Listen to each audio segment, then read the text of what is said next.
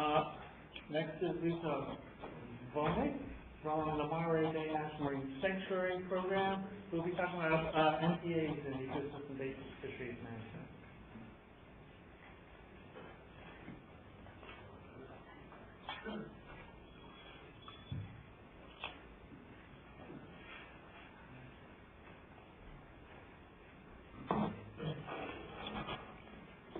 Thank you for the invite uh, today to the uh, symposium organizers, particularly Andre. I think I have him to thank for being here.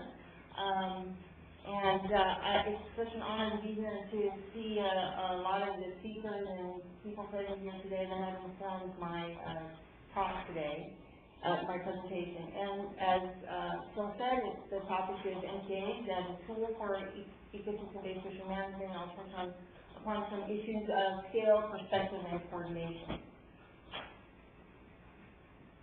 So I also took PowerPoint 101. Um, we'll be covering a couple of definitions. Um, I'll cover a national overview of MPAs. MPAs is a tool for E EBFM. And then uh, going down in scale and focusing on uh, a West Coast overview of MPAs. And then I'll um, uh, finish it up with the strategy for better integration, maybe using uh, a promising example, the Monterey Bay National Sanctuary's um, MPA planning process to better um, integrate MPA with E EBFM to better coordination with our partners. So you'll be hearing many definitions today of uh. The one that I like is the one uh, by Marasco et al. in um, which um, recognizes that there are many definitions with recurring themes. EBFM is uh, interdisciplinary, it's uh, holistic, it's uh, specified geographically, that's what it have in common with MPA, because they're also specified geographically, space matters.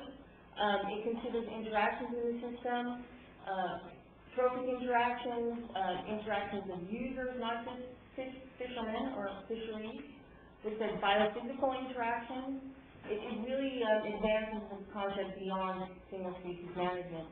Humans are an explicit part of the system, and it looks at the full range of ecosystem goods and services, and because it does that, um, it evaluates competing interests, and decisions need to be made, um, concerning those competing interests. And so a quick uh, definition is, uh, that EBFM recognizes the physical, biological, economic, and social interactions among the affected components of the ecosystem, and attempts to manage fisheries to achieve a stipulated spectrum of societal goals, some of which may be in competition. And I'll be talking a little bit more about that competition, and a tool that we can use to better evaluate the trade- trade-offs in different objectives for, um, economies, um, ecosystems, and, um, communities and management. So here is a, a wonderful, um, perspective of EBFM, um, advanced by McAvoy, and, um, we already heard, uh, Rice talk about that it explicitly considers three elements, ecosystems, uh, socioeconomics or economies or communities, and management, that's where I sit in, um, in this whole plan. And, uh, using this concept, sustainable fisheries is represented by the health of the interactions among the ecosystems, the socioeconomics or the economies, and management. And I consider EBM's role, not just EBFM's role, is to provide decision makers with the tools to weigh the competing objectives, mandates, and scientific, scientific perspectives, and to understand the relationship between ecosystems and people, given that some decisions may have negative consequences. We can't always have a win-win situation, as Jay pointed out, um, among the economies and, um, ecosystems. Decisions need to be made regarding trade-offs among the desired goods and services of ecosystems and economies. And, um, I'll be talking a little bit about integrated ecosystem assessment. But that's not my forte, that's not what I work in, but we think that it, will be a valuable tool as we move forward with our MPA planning process to, for exactly that purpose of evaluating trade-offs. So what are MPAs? MPAs are a management tool. They're not a process like EBFM.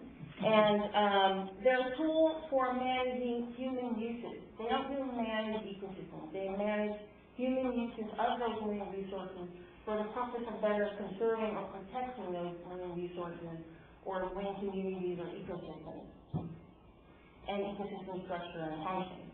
Um, there are many terms that describe MPAs. We have underwater parks, marine areas, marine reserves. I mean, there are so many different terms, and it can be quite confusing. Um, they've been put, they've been put in place, um, by, for, for many different purposes by hundreds of different agencies. And, um, to date, there has been an ad hoc approach to marine protection in U.S. waters, and with little comprehensive planning, uh, for this spatial management tool for conservation, but just little comprehensive planning, uh, for, uh, using any type of spatial management tool, whether for conservation or not.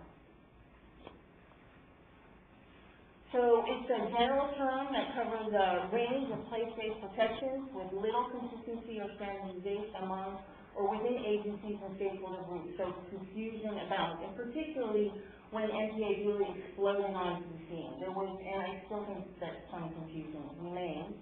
And Executive Order one three one five eight on, um, on MPAs issued in two thousand was, um, issued exactly to address some of that confusion, um, in part. It's also, its main goal is to enhance the management and conservation of marine resources through more effective and participatory uses of MPAs as an ecosystem tool. So there, you know, MPA is an ecosystem tool. The executive order has its own definition for what an MPA is. It's a very broad definition. It's any area of the marine environment that has been reserved by federal, state, territorial, tribal, or local laws or regulations to provide lasting protection for part, for parts or all of the natural and cultural resources therein. So it also addresses cultural resource protection. Um, using this definition, the MPA Center, which was established when the executive order was issued, has developed a national MPA inventory. And so using that definition, the, um, partners of the MPA Center collected information on all of those sites that fit that inventory, including information on, um, the government type, whether was state or federal entities that govern those MPAs, their level of protection, whether it's multiple use or no take, uh, the conservation focus, the permanency of protection or quantity of protection, and the establishment date. And so what you see on this map is the collection of the nation's MPAs. The colors that you see here have, have no significance other than that we gave them all kinds of colors so that you can see how many different ones are out there.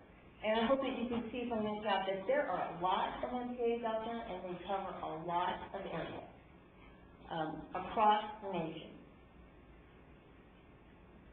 This, uh, map provides a little bit more order, because it looks at those MPAs according to their primary conservation focus. And looking at this map, we see that the, uh, primary conservation focus can be natural heritage, and those are sites that were established as for biodiversity protection or ecosystem, um, integrity or resilience protection, um, and those are in red, and then we have the sustainable production sites, and those are classical fishery sites. And then where those sites overlap with each other, um, you'll see orange. And then there are also cultural heritage sites, as I, um, mentioned earlier, but those tend to be shipwrecks, really small sites, and at this spatial scale, you won't see them. So, what you can see from this map is that about 60% of all, um, MPA area resides within, um, fishery, um, management uh, zones. And the other, um, half are within natural heritage. And so natural heritage sites are in red, and so natural heritage also covers the protection of, um, endangered species. And so that's what you're seeing, um, around Alaska, those are the Steller sea lion sites. Along the east coast, those are, um, large Atlantic whale, um, uh, protection sites. The ones that are orange are the sustainable production sites. And, um, I wanted to also mention that what you're seeing here are sites that are primarily managed by NOAA, either by National Fisheries Service or by the organization that I work for, the Office of National Sanctuaries. But it's primarily NOAA Fisheries, either for ESA protection or for sustainable production purposes. And the, um, there are a lot more natural heritage sites, um, but you can't see them on this map because they hug the coast. So there are a lot more natural heritage sites by number, but the area that they cover is about the same as sustainable production sites. And sustainable production sites tend to be larger. And for those of you that have an eagle eye, um, um, Alaska, this map isn't completely correct because um, Alaska doesn't show the ESA areas that were implemented, um, I think in 2007, maybe 2006.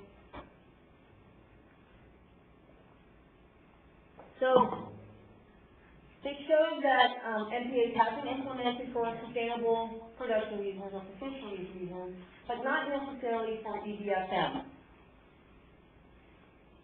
And, um, because there are a lot more natural heritage sites, those natural heritage sites, because they're smaller, they seem to also not be very well integrated with EBFM because, um, fisheries management tends to occur at a much larger scale, the scale of a large marine ecosystems, while those smaller natural heritage sites, which you can't really see on the scale, they're much smaller, and there's a mismatch in scale of, um, managing those MPAs and, um, EBFM, or fishery management. So quick overview of, uh, the national MPAs, there are about seventeen hundred of them currently. Uh, ninety percent of them were established after nineteen seventy. The majority of, uh, MPA area is multiple use, so not no take. So the flip side of that is that there, uh, less than one percent is, is in no take area. And that's telling I think, about, um, I wrote this down, eight thousand square kilometers in about two hundred, uh, different sites. The federal programs, as I, um, indicated earlier, manage more area, while the state manage the greatest number. And the majority of MPAs have been implemented to be permanent, for permanent reasons, and year-round. There are very few seasonal sites by number. So, um, I wanted to see how have these MPAs, have they been really used as a tool for E EBFM, or can be used as a tool for E EBFM? And I used, uh, this, uh, paper, um, the Ten Commandments for EBF scientists, which was a very interesting read. And I tried to see how well do these, uh, do MPAs address these Ten Commandments? So the first one is keep a perspective that is holistic, risk averse, and adaptive. Well, yeah, MPAs do that particularly, uh, because they're seen as a precautionary, uh, tool in light of, uh, some of the uncertainties in, in management or uncertainties about the science. Um, always ask key, uh, question key assumptions, well, that needs to be done for any tool. So I didn't give the check mark there. Maintain old growth age structure and fish populations, yeah, MPA can do that, but slot limits can do that too, it's not the only tool. Characterize and maintain the natural spatial structure of fish stocks, um, there's a, an increasing realization that, um, population structure is much, uh, more complicated and on a smaller scale than we previously, uh, realized, and we're realizing this through genetics and microchemistry uh, I mean, um, otolith microchemistry, and, um, MPAs can help with, um, maintaining some of that smaller scale population structure. Characterize and maintain viable fish habitats, that's what those EFH areas are for, that have been implemented across the nation. Um, characterize and maintain ecosystem resilience, yes, that's because, um, having you can have areas where, um, some components or some, part of the, um, ecosystem is, um, better protected and there's higher bio- biodiversity, which leads to more ecosystem resilience. Uh, again, two check marks. Identify and maintain critical food web connections, that's related to, uh, number six. So I give that, um, two check marks as well.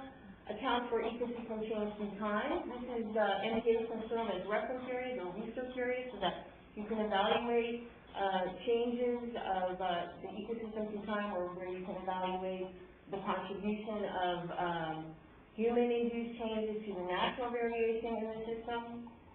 So again, uh, MPAs are tool that can do that.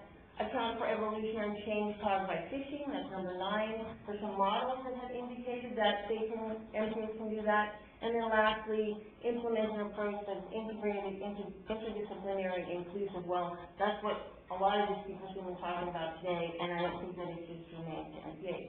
So if we review this quickly, we see that seven out of ten commandments can be addressed through MPAs. But I want to caution that MPAs are not the only tool, but they seem to be a pretty appropriate, robust, um, effective tool if they can address seven out of ten. But there are fishery concerns with MPAs, they're not, uh, um, silver bullets. Um, the ones that are in dark, those are, uh, ones that were, uh, those concerns were, um, addressed in the paper by John Fields. Um, they, um, introduced explicit spatial heterogeneity of populations, which may complicate stock assessments. And that's what we need to inform our, um, uh, conventional, uh, fisher, fisheries. Uh, so is the biomass on or off the table? Well, whether it's on the table or off the table will, um, tilt, uh, the strategies towards either being risk averse or risk prone. Uh, the scale of MPAs and the scale of traditional fishery management are not well matched, as I tried to indicate with, uh, the majority of MPAs are implemented on a much, much smaller scale than on which fisheries are managed. And then MPA restrictions may, uh, impede long-term surveys critical to stock assessments. As these MPAs are being implemented, they're in, um, in some instances, they are taking away those areas in which, um, those, um, fishery scientists are, are collecting their data. And those long-term surveys are informing not just fishery management, but also a lot of, uh, management for conservation purposes. For example, the, um, the program that I work for uses a lot of the fish survey data to inform our management decisions. And then the, the ones that are light are not, um, they're not in light because they're not important, but those are ones that we've heard from the beginning of, um, MPAs being touted as the tool, that, uh, their socioeconomic impact has not been well defined, particularly uh, in terms of displaced effort. Um, MPA benefits accrue primarily to sedentary species, and a lot of fisheries are focused on uh, highly migratory species. And this last one addresses that whole issue of win-win, MPAs result in lower yields overall. We- can't, we cannot get away from that. So quickly, how much time do I have? You have. Try, okay, move on. Uh, so, an- another spatial scale, the state of the West Coast MPAs, there are about two hundred and ninety-six of them. They cover, um, from shoreline out, they were implemented, by a combination of, uh, different, uh, uh, government types, federal, state, and partnerships. You can see that California has the vast majority of them, um, off its coastline. Washington has fewer, and Oregon has the least. Um, and then, this is my one cool graphic. Um, the recent addition of EFH sites changed the marine landscape of place-based management tremendously. And this all happened in two thousand six. So that's what it looks like now, and this is what it looked like in two thousand six. And the majority of MPA, um, uh, area resided within, uh, national sanctuaries. And, uh, um, we went from forty-seven percent of West Coast waters being covered by MPAs, um, from, um, EFH. Uh, I'm sorry, we went from six percent in two thousand six being covered by MPAs to forty-seven percent, just by the designation of those EFH areas. Um, I'll just skip through that, skip through that one. I wanted to just quickly show this one. Uh, the first slide that I showed you about, uh, conservation focus addressed the primary conservation focus, but we realized that, um, most, um, purposes for MPAs are a combination of, uh, those conservation foci. So, um, the natural, the EFH areas are are for sustainable production purposes, but they're also for, um, protection of, um, the, um, habitat, so they also address natural heritage purposes. And off of our coast, because the EFH areas dominate the MPA, um, scene, um, they occupy the largest area. So in some ways, this is a, this is a form of EBFM, but addressing just one commandment of, uh, uh, those ten commandments does not constitute EBFM. One would be excommunicated if one didn't the other. So, go to that. Um, almost half of the West Coast waters are in MPAs. The overwhelming majority are multiple use. Uh, less than one percent is no take, but that is changing rapidly, primarily because of California marching through this MLPA process. Um, no take MPAs are primarily managed by states and they're small, and the largest MPAs are federally managed with full conservation focus. That's the fishery one and those are the areas that I was talking about. So, um, I, I have to just go through this quickly because I wanted to, um, I'll skip this. So, um, we, um, at, we are taking the Monterey Bay National Sanctuary's, um, MPA planning process as an opportunity to better integrate MPAs with, um, ecosystem-based fishing management. Um, the superintendent made the decision that, uh, the sanctuary would move forward with considering MPAs. Um, and since then, and it's been about a year ago, the sanctuary has been spending time trying to figure out how can we do this better? How can we learn from what happens with Channel Islands or with the, um, Florida Keys? How can we better integrate and how can we better, um, uh, collaborate with each other? So, one, these are some of the principles that we're using, uh, of interagency collaboration, early and frequent communication to identify some of our complementary needs.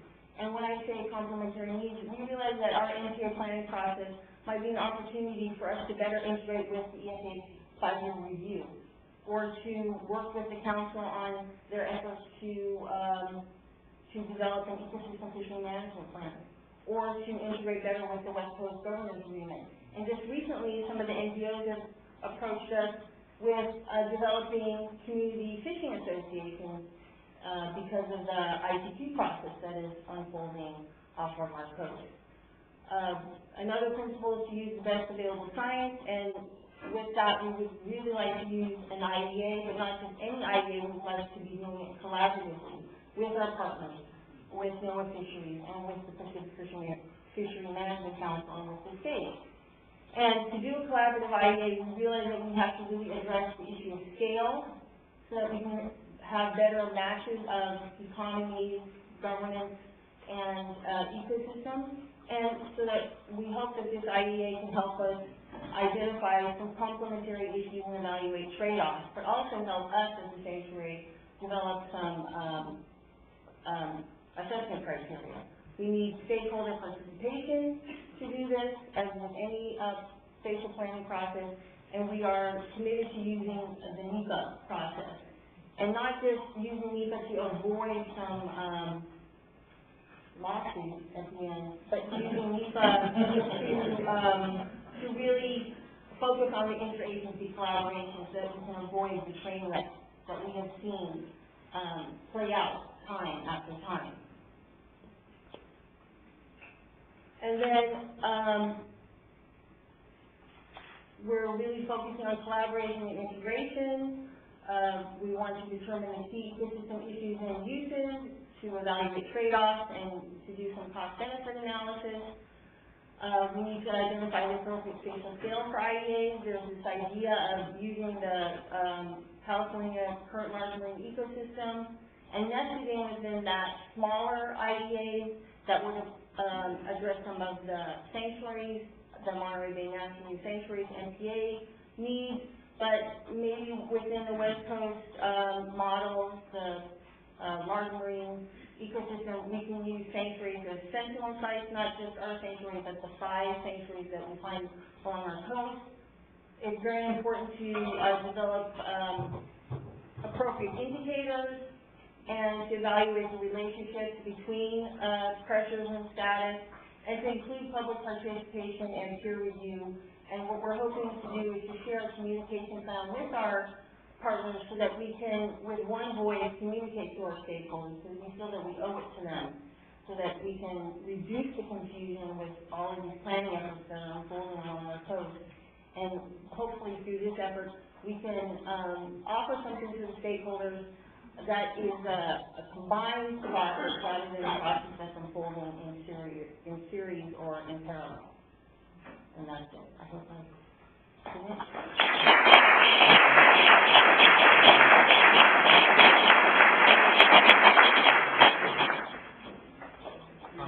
uh, for a question. Yeah, the, the large map that you showed with us, if I was a Congress member and I looked at that map, uh, marine protected areas on the coast of the US, I would say, looks like we got this covered. Um, so I'm wondering, has there been any, any attempt within at least the way NOAA looks at MPA to do a, what we do in the terrestrial environment, the gap analysis to try to identify the level of protection and then show a representation of that, uh, in the, in the ocean? And then secondly, are you thinking about marine protected areas that actually follow oceanographic features or are flexible enough to take into account things like upwelling and run, as opposed to being fixed to bottom areas? Okay, so the first part, um, gap analysis, several, um, entities, like several, um, NGOs have done gap analysis, I think the TNC has done several of them, um, in different regions. And the MPA Center is now in the process of doing gap analysis, addressing exactly that need. And then, uh, there have been several efforts underway, not necessarily by the government, uh, to look at these upwelling fronts. I can think of the Baja to Bering, um, effort that is looking at, um, some of these upwelling fronts as areas to be protected and that are dynamic. And, um, on that, um, as part of that database, there are spatial tools or place-based management that is used, MPAs, you could call them, that move. I can think of the ones that that are implemented off of, uh, New England to protect, um.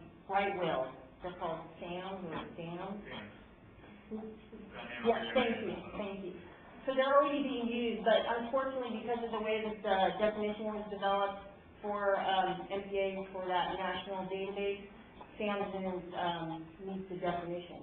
But I think for any spatial planning effort, you should look at, use that inventory, that's a good starting point, but you should also look at all the other spatial management efforts or tools that are out there that didn't make that cut, because they should still be considered.